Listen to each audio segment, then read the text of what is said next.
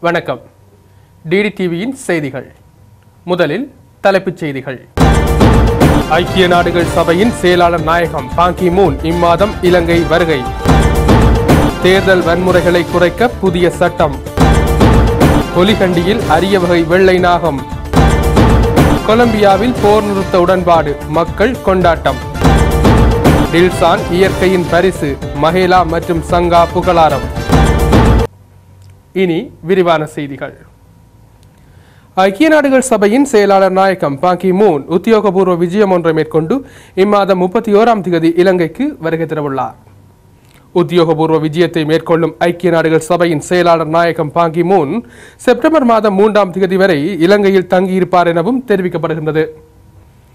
ஐக்கிய நாடுகளின் செயலாளர் நாயகம் பாங்கி மூன் ஜனாதிபதி பிரதமர் உட்பட மற்றும் பலரை சந்தித்து பேச்சுவார்த்தை நடத்துவார் என்றும் தெரிவிக்கப்படுகின்றது. தேர்தல்கள் ஆணைக்குழு புதிய சட்ட விதிகளை அமல்படுத்த உள்ளதாக தேர்தல்கள் ஆணைக்குழு விடுத்துள்ள அறிக்கையில் தெரிவிக்கப்பட்டுள்ளது. இதன் அடிப்படையில் தேர்தல்கள் காலங்களில் தேர்தல் சட்ட நடைமுறைகளை பின்பற்றாத மற்றும் தேர்தல் வன்முறைகளில் ஈடுபடுபவர்களை நேரடியாக கைது செய்வதற்கும் அவர்களை நீதிமன்றில் ஆஜர்படுத்துவதற்கும் தேர்தல் அதிகாரிகளுக்கு அதிகாரம் வழங்கியுள்ளது. குறித்த தீர்மானம் தேர்தல் சட்ட நடைமுறைகளை வலுவானதாக மாற்றுவதற்கு சிறந்த சந்தர்ப்பத்தை ஏற்படுத்தியுள்ளது.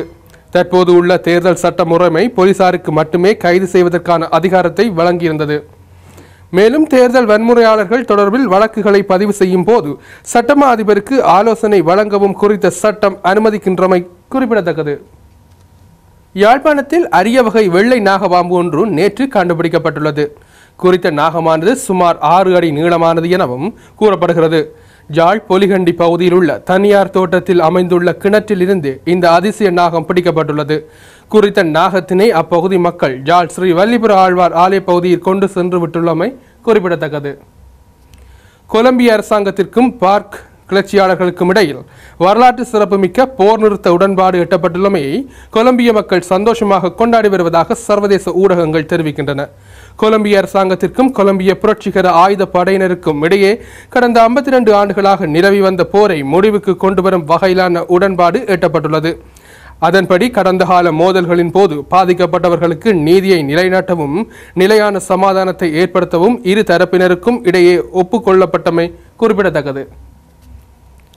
சர்வதேச ஒரு நாள் மற்றும் இருபதுக்கு இருபது போட்டிகளிலிருந்து ஓய்வு பெறுவதாக அறிவித்துள்ள இலங்கை அணியின் முன்னாள் தலைவரும் ஆரம்ப துடுப்பாட்ட வீரருமான திலகர்ண டில்ஷானுக்கு இலங்கை முன்னாள் நட்சத்திர வீரர்களான குமார் சங்ககாரா மற்றும் மஹேல ஜெயவர்தன் ஆகியோர் புகழாரம் தெரிவித்துள்ளனர்.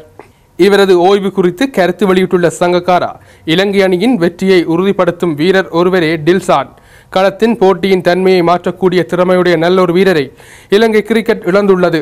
இலங்கை கிரிக்கெட்டின் அற்புதமான சேவகனே டில்சான் என மஹில ஜெயவர்தன தெரிவித்துள்ளார். அவருடைய எதிர்காலத்துக்கு எனது வாழ்த்துக்களை தெரிவித்துக் கொள்கின்றேன் எனவும் தெரிவித்துள்ளார்.